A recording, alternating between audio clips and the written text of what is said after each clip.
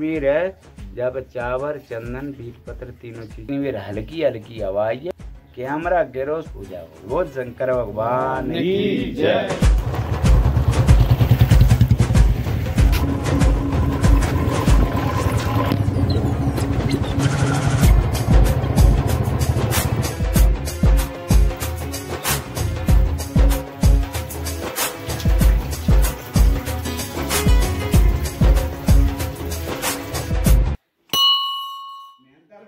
तो दोस्तों, नमस्कार। मैं डेविड ग्वालियर आपका फिर से स्वागत करता हूँ एक और नए वीडियो में। वीडियो की शुरुआत करने से पहले मैं आपको बता दूँ कि आज मैं मौजूद हूँ दोस्तों पहाड़गढ़ में।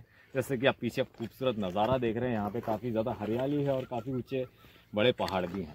तो आज हमारा काफिला मेरे सारे दोस्त, जो मेरी टीम है डेविड ग्वालियर की, हम लोग जा रहे हैं ईश्वरा महादेव।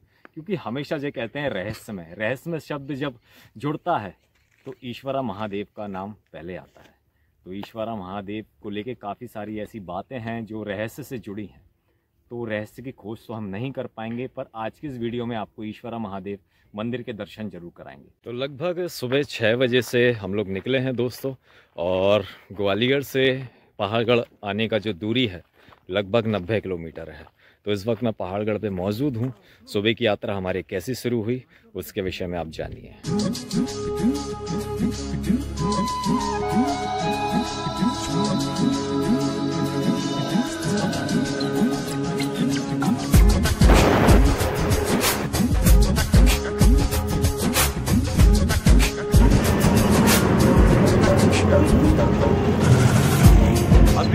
मुरैना से लगभग पाँच दस किलोमीटर और पहले हम लोग मुरैना पहुँचने वाले हैं। और इस जगह जो ठंड है ना क्या ही बताएँ बहुत ही ज़्यादा सर्दी है इस जगह तो थोड़ी देर के लिए रुके हैं रोड में रोड किनारे साइड में गाड़ी लगाई है तो यहाँ पे थोड़ा रेस्ट करने के लिए हम रुके अपने मेहताब भाई के साथ। ग्वालियर से निकले थे हम लोग सुबह छः बजे। अब थोड़ी ठंडक खत्म हुई। हाँ क्योंकि निकलते वक्त जो हालत थी ना वो हालत ख़राब कर देने वाली थी। और एक भैया और गए हैं वो आ रहे हैं। ये हैं इनके साथ आगे बढ़ते हैं हम लोग। नमस्कार दोस्तों मेरा नाम है पंकज झाकर मेरे यूट्यूब चैनल का नाम है पंकज झाकर ब्लॉग। ओके तो पंकज भाई के साथ एक और भाई आए हैं हमारे। अपना नाम क्या है? राहुल। राहुल भाई। का बड़ा भाई ओके। तो भैया जी नमस्कार जी हैं अपने एक भाई जो कि आज हमारे साथ जुड़े हैं यहाँ के स्थानीय निवासी हैं और यही हमको ले चल रहे हैं ईश्वरा महादेव। तो कुछ जानकारी इनसे भी जुटाएँगे कुछ वहाँ जाके भी। और पहले तो इनके बारे में जानते हैं आप बताइए। नमस्कार मैं हूँ नीतीश भारद्वाज पहाड़गढ़ से। उत्तराखंड टूरिज़्म का काम है मेरा चार धाम यात्रा से रिलेटेड और ये है मेरे बड़े भाई माता दीन भरद्वाज। नमस्ते सर। और ये है सैलू शर्मा जी। नमस्ते भैया। तो अभी हम जा रहे हैं ईश्वरा महादेव। तो हमारे साथ देखिए कितने सारे लोग जुड़ चुके हैं आज। इन दो भाइयों से आपको मिलवा ही चुका हूँ। ये हमारे मेहताब भाई हमेशा की तरह। तो बस जुड़े रहिए और आगे के सफ़र को यहाँ से शुरू करते हैं। हमारी टीम ने यहाँ से सफ़र शुरू किया और ईश्वर महादेव पहुँचना इतना आसान नहीं था दोस्तों।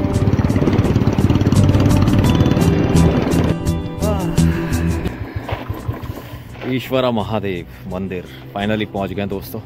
अभी सफ़र लगभग हमारा आधा हो चुका है, पर इसके बाद भी हमें अभी तीन किलोमीटर और सफ़र करना है। ये रोड कुछ इस तरह की थी मतलब बहुत ही ज़्यादा खतरनाक रोड बोल सकते हैं इसको। बारिश में यहाँ पर आना काफ़ी दर्दनाक हो सकता है। गलों के रास्ते सफ़र करते हुए फाइनली हम लोग पहुँच गए थे ईश्वरा महादेव मंदिर। आखिरकार हम लोग पहुँच गए हैं दोस्तों। और काफ़ी कठिन वाला ये रास्ता था। और एक चीज़ और बता दूँ, अगर आप मंदिर परिसर के किनारे पर पहुँचते हैं तो यहाँ पे आप अपनी गाड़ियाँ भी पार्क कर सकते हैं। सब सुविधाएँ हैं यहाँ पर। फोर व्हीलर टू व्हीलर आसानी से मंदिर के पास तक पहुँच जाती हैं। ये है वो मंदिर। चलते हैं कुछ जानकारी यहाँ पे चल के जुटाते हैं और आपको दर्शन कराते हैं। बताइए। जैसे कि आप देख सकते हैं यहाँ बताते हैं कि जो पूजा होती है बील पत्र चढ़ते हैं। तो यहाँ सात मुखी नौ मुखी ग्यारह मुखी तेरह मुखी आप देख सकते हैं जैसे इस टाइप से इक्कीस मुखी बील पत्र तक चढ़- मिलते हैं यहाँ पूजा पे। और यहाँ आप देख सकते हैं नीचे की साइड के कहीं आपको ऐसे नहीं दिखेगा कि बील पत्र का पेड़ है। हम्म, हम्म। लेकिन वो जो एक पेड़ है उसी में ये सारे इक्कीस मुखी तक बील पत्र आते हैं। एक ही पेड़ के अंदर? एक ही पेड़ के अंदर इक्कीस मुखी तक के बील पत्र आपको मिल जाएँगे। इस टाइप से रहता है ये तेरह मुखी बील पत्र। है हाँ, ये आपने एक पत्ती तोड़ के इसमें लगा रखी है जी। हाँ, हाँ। तो ये सब जानकारियाँ दी भैया ने जो दी हैं और वही बेल पत्र यहाँ की पूजा में भी इस्तेमाल होता जी है पूजा में भी वही बील पत्र इस्तेमाल होते हैं। जब हम मंदिर परिसर के अंदर बढ़ रहे थे तब हमें एक अलग ही शांति का अनुभव मिला। और बताया जाता है कि सुबह के वक्त यहाँ पे एक अदृश्य शक्ति आके पूजा कर जाती है। पहाड़ों से टपकता हुआ जल वहाँ मौजूद शिवलिंग का लगातार अभिषेक कर रहा था।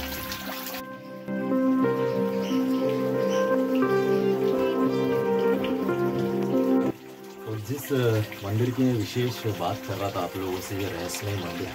तो यहाँ मौजूद है, वो शिवलिंग। दोस्तों, और ये एकदम पहाड़ है और पहाड़ के नीचे गुफा नुमा बना हुआ है। वहाँ मौजूद है अंदर शिवलिंग। और बताया जाता है कि यहाँ पे सुबह के वक्त, रात्रि में सुबह होने से पहले कोई अदृश्य शक्ति जो आके यहाँ पर पूजा कर जाती है। और यहाँ हर सोमवार को आपको देखने को मिलेंगे काफ़ी सारे बेल पत्र और जो पूजा सामग्री में इस्तेमाल होने वाले, वो सारी चीज़ें आपको यहाँ पर मौजूद मिलती हैं। तो आज तक इस रहस्य को कोई भी नहीं सुलझा पाया। बताया जाता है कि यहाँ पे काफ़ी सारे मीडिया कर्मी भी आए थे। इस जगह, सब जगह उन लोगों ने अपने कैमरे लगाए थे। तो जिस वक्त पूजा का समय हुआ, उस वक्त सारे कैमरे गिर गए और पूजा हो गई। तो ऐसी काफ़ी सारी मान्यता है, काफ़ी लोगों ने यहाँ पे खोज करने की कोशिश करी है, पर इस रहस्य को आज तक कोई नहीं सुलझा पाया और ये रहस्य आज भी रहस्य है।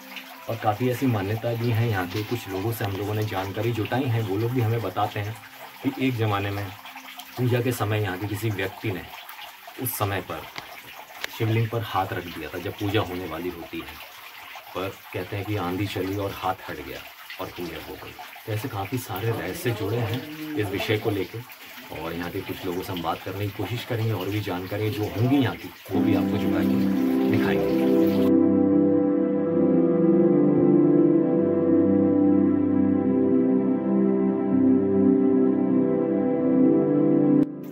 मुख्य शिवलिंग इस गुफा के अंदर मौजूद है, जहाँ पे एक अदृश्य शक्ति आती है और रोज सुबह आकर पूजा कर जाती है। और ये गुफा के अंदर मौजूद है। चट्टानों से टपकता हुआ जल हमेशा यहाँ अभिषेक करता रहता है।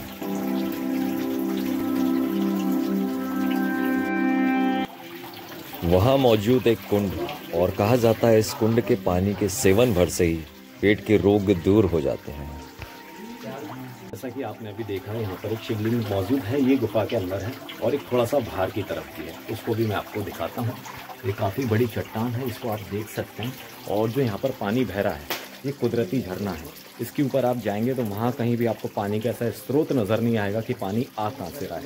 पर जब आप इस चट्टान के नीचे यहाँ मौजूद होंगे, तब आपको ये पानी का स्रोत दिखेगा जो हमेशा बारह मासी यहाँ शिवलिंग का अभिषेक करता है। तो यहाँ पर भी एक शिवलिंग मौजूद है जो आप बाहर से देख सकते हैं। ये और अंदर भी और भी क्या यहाँ पे खास चीज़ें हैं, उन सब चीज़ों को आपको दिखाता हूँ। तो यहाँ की कुछ जानकारियाँ जो इस वीडियो को देख रहे हैं वो लोग लिए जुटाना चाहते हैं। तो कुछ बताएँगे यहाँ के बारे में आप? भैया ये सीसरा महाद्वीप पे अंदर वाले जी को फम है ना हम्म। इन पे ओटक मेटक चावर चंदन बीलपत्र अच्छा। तीनों सामग्री चढ़ जाती है। और ये पता नहीं चलता है कि कौन कर रहा है। अच्छा। ये पता है।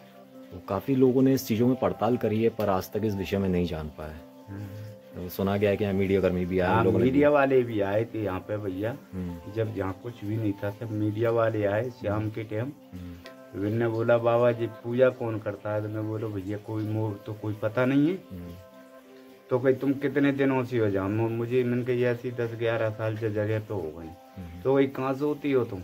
मैंने कही वो लगी है। आशा अच्छा। तो वो तुम ये बताओ बाबा आपके लिए ग्यारह साल एक जगह पर एक ही आसन से वही है। हम्म, और तुमने जी पकड़ नहीं करी मैंने कही नहीं तो। तुमने एक भी कड़ा कब बोले हम्म, मैंने नहीं करी भैया मैंने। अच्छा क्यों नहीं करी बाबा? मैंने भैया मेरा काम झाड़ू पोंछा को झाड़ू पोंछा लगाता हूँ मालिक मुझे दो रोटी का आटा देता है हम्म, बनाता हूँ भोग लगा कर खाता हूँ। अच्छा। और बेटा कड़क बोलोगे तुम जाने बैठ पाओगे। हम्म, हम्म, शांति से बोलोगे सब कुछ होगा। ये काम मैंने नहीं करो बेटा तुम बैठ जाओ। हम्म, और तुम पकड़ो सुबीर है जब चावर चंदन बीट पत्र तीनों चीज़ चढ़ाऊँगी। आपने मीडिया वाले से बोला हाँ? जी। अच्छा अच्छा। अच्छा तो कई बाबा सफ़ाई कर दो। ऐसे फूल माला से क्या है वो पूरा दुख जाता है। हाँ। तो कई सफ़ाई कर नहीं बेटा मैं सफ़ाई का जे झट रही अभी मैंने आसन छोड़ी है। आसन छोड़ के हवा में आमो अगर मुँह का जे मैं आसनान बनाता हूँ तो सद गर्म हो जाएगी वो तकलीफ़ हो जाएगी। एक महीना इसी आसन पर मुझे रात दिन हो जाता है अच्छा। सामने में। बेटा जहाँ पर कौन बैठा हो तो तुम ऐसा करो चाय बनाओ। हम्म, चाय पियो प्रसादी पाओ जो मेरी ड्यूटी है तो मैं कर दूँगा आपसे कह दूँगा बैठ जाइए। हम्म, तो कहा ठीक है। बिन्ने चाय माँ बनाई चाय पी बिन्ने हमने पी खा के नहीं। कैमरा लगाने के बाद? हाँ संजा की बात है। अच्छा। और चाय माँ पी जब तक बज गया संजा के साथ हाँ। तो गुफा के अंदर इंदिर हो जाता है। हाँ हाँ, तो बिन्ने वो गुफा के अंदर भी लाइट अच्छा, होती है ना दोनों दर दें। डर के नहीं एकदम सफ़ाई कर दी। सफ़ाई करके हमारी आरती पूजा करके मैं बोला अब भैया हम जी शंकर भगवान से अब हमें मतलब ना हम्म, अब तो सवेरे आठ नौ बजे देखेंगे अब अब जी जाने और आप जाने। हम्म, हम्म, तो वो ठीक है। एक चटाई सी ले गए वो चबूतरा पे सीमेंट वाले पे। वहाँ जाकर भी ऐसे बैठ गए। बैठे रहे। रात के बारह एक बजे के टाइम पे इस गुफा के अंदर से डबल बिच्छू चलो। अच्छा। बीचू। और बीचू कहाँ की लंग चलो? तालंग भी बैठे थे। बैलंग को बीचू आ तो से उतर वो जीना चढ़ कर भाव नो कब्बे लगे। बाबा खाए। अब बीचू तो लाइट में मुँह दिख रहा लेकिन मैं बोला कौन खाए? बाबा तुम्हें नहीं दिख रहा? मैंने कहा नहीं मुझे कोई नहीं दिख रहा। को है बताइए। बाबा जी तो बीच में अगर सांप आ जातो तो हमें खा जाता। हम्म, मैंने कोई नहीं कहेगा चलिए वहाँ पहुँच गए उसको पकड़ो। चलिए फूट यहाँ से। वो और ज़्यादा डर डर गए। भी। डर गए तो मैं बोलो ऐसा ना हो जाए कि कहूँ को मर ना हो जाए मैं वो मैं एक काम करो तुम्हें वहाँ डर लगे रहा कैमरा तुम पे बराबर लग रहा है जहाँ भी हट जाओ हमारे पास में। तो बोले बाबा जहाँ भी हमें खा जाएगा। ये तो बीच चुया कम सांप ने कर आता तो वो तो हमें खा जाता। आप खाओ तुम तो आदेश दो हम ऊपर वाली छत पे जाते हैं। भैया कहूँ तुम छत पे गए कहूँ हम चढ़ा चढ़ाया तुम्हें का पता चले हाँ? सही है। सुबह में से एक जन ने थोड़ा हंसो। हम्म। हंसो मैं समझ गया अब गला नहीं है जिनकी। हाँ हाँ हाँ। तो मैंने भैया तुम अब नहीं मान रहे तो जाओ पहुंचो ऊपर। कैमरा बराबर लगी रहे इनकी। और जो पूजा को समय होता है, तीन के और चार के बीच में, इतनी देर हल्की हल्की आई है, एक एक दो दो बरसा की पानी की आई है। तो एक साइड को कैमरा गिरेगा। कैमरा गिरो भैया सी दूरबीन सी में देख के नहीं तोड़ते चले जाए आगे झोली झंडा जहाँ धर के मैंने कैमरा खड़ा करो, कैमरा खड़ा करके वो देखो तो बाप शंकर भगवान कुछ नहीं एकदम साफ़। और नो देख टिक टिक लगा देख रहा है अपने आँख को पल में टकता है। इतनी देर एक सेकंड में दो ही कैमरन की लाइट बंद हो गई।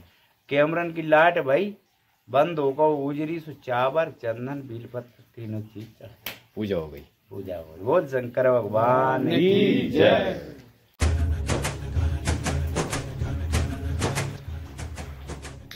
लोगों का मानना यह भी है कि यहाँ पर रात के वक्त पूजा करने विभीषण आते हैं। और बोला जाता है कि ये जगह उनकी तपोभूमि हुआ करती थी। यहाँ के बारे में बताया जाता है कि जो रावण के भाई थे छोटे विभीषण उनकी भी तपोभूमि बोला जाता है इस जगह को कि यहाँ पे शिव जी का अभिषेक वगैरह वो करने आते हैं। ऐसा बोला जाता है हाँ। लोग मानते हैं। हाँ, लोग मानते हैं कि विभीषण की ये तपोभूमि है। यहाँ पे आज भी जो विभीषण है चिरजीवी मो- में है जो आठ चिरजीवी हैं उनमें से एक है। तो वो यहाँ पे पूजा करने आते हैं। जैसा कि शुरुआत में आपको बता दूँ पीछे आप एक मंदिर नुमा देख रहे हैं यहाँ पे एक संत की मूर्ति है। और उसके विषय में जानकारी ये भैया से लेंगे अपन। कुछ बताइए जरा ये कब से स्थापित है और कैसे इसकी कहानी है? ये तो करीबन अभी 10-12 वर्ष हुए हैं इसको इसको मूर्ति को तो। यहाँ पे जो संत हुए हैं आए हैं उन्हें स्वप्न में देखे ये संत महात्मा ने दर्शन दिए। उसके बाद ही ये स्थापना हुई है। ये काफ़ी प्राचीन नहीं है। लेकिन जो अपना शिवलिंग है हाँ हाँ। उसके बारे में बोला जाता है करीबन चार लाख साल पुराना या त्रेता काल का। जो पुरातत्व विभाग। हाँ पुरातत्व विभाग के द्वारा बताया गया था कि करीबन चार लाख साल पुराना है ये जो अच्छा अच्छा। इसकी अगर जाँच की गई जब पुरातत्व विभाग वाले यहाँ पर आए। हाँ तो वो उन्होंने कार्बन डेटिंग वगैरह हाँ हाँ। उन्होंने पता लगाया। ये लगभग चार लाख चार लाख साल पुराना मंदिर है उनका कहना है। चट्टान से लगातार जो पानी गिर रहा है जिससे शिव जी का यहाँ पे अभिषेक हो रहा है उसी के साथ साथ यहाँ मौजूद है दोस्तों यहाँ पर एक कुंड। ये कुंड के इस जल के विषय में भी कहा जाता है ये काफ़ी ज़्यादा पवित्र है। अगर आप लोगों के घर में शिव मंदिर हो तो यहाँ से ले जाके काफ़ी लोग अपने घर के शिव जी का जल अभिषेक भी करते हैं। ऐसी कुछ मान्यता है ना यहाँ की? और हर चीज़ में काम आता है यहाँ का। जल को काफ़ी पवित्र बोला जाता है इस जल को। और किसी को आज तक नहीं पता है कि ये पानी कहाँ से आ रहा है इस पहाड़ के अंदर। ऊपर भी आप जाएँगे तो ऊपर कहीं आपको पहाड़ पे मतलब पानी नज़र नहीं आएगा। यही कुछ यहाँ के चमत्कार हैं जो आपने को यहाँ पर आके देखने को मिले हैं। तो ये वीडियो आप लोग कैसी लगी कमेंट करके ज़रूर बताएँ। अगर आपका मन है यहाँ पर आना तो हमारे साथ ये भैया मौजूद हैं। अपना नाम बता दीजिए। मेरा नाम है आर्यन शर्मा और सैलू अच्छा शैलू आर्यन शर्मा जी इनका नाम है। हाँ जी। साथ में हमारे भैया भैया आइए ना। ये है टूर एंड ट्रेवल्स का काम करते हैं। ये आपकी यात्रा को काफ़ी मतलब आनंद में बना देंगे क्योंकि कहीं भी आप जाते हैं विशेष तौर पे जानकारियाँ नहीं होती हैं। तो जानकारियों के साथ इन खूबसूरत जगहों का नज़ारे का आनंद लेने के लिए और आना जाना जो कुछ भी रहता है वो आप इनसे संपर्क कर सकते हैं। थोड़ा नंबर नंबर बता दीजिए। मेरा नाम है नीतीश भारद्वाज और आप फेसबुक पे देख सकते हैं चंबल वैली टूरिज़्म के नाम से हमारा पेज है। और कॉन्टैक्ट नंबर आप करें nine one three one two double four zero five two. Any time आप कांटेक्ट कर सकते हो हमारे पेज फेसबुक के पेज से भी जुड़ सकते हैं चम्बल वैली टूरिज़्म के नाम से। तो ये भैया की डिटेल थी मेरे साथ यहाँ पर आ सकते हैं और यही नहीं यहाँ पे आसपास और भी काफ़ी चीज़ें हैं। हम लोग अभी यहाँ से और तीन किलोमीटर आगे बढ़ रहे हैं। हम लोग जा रहे हैं बरई कोट बरई कोट और आमजिर महादेव। हाँ तो चलिए चलिए चलते हैं और आज के इस एपिसोड को यहीं खत्म करते हैं। मिलते हैं जल्दी एक और नए वीडियो में। वीडियो में तब तक लिए इजाज़त दीजिए। जय हिंद जय भारत। में दोस्तों यहाँ आना काफ़ी ज़्यादा मुश्किल है क्योंकि का बहुत ज़्यादा खतरनाक है।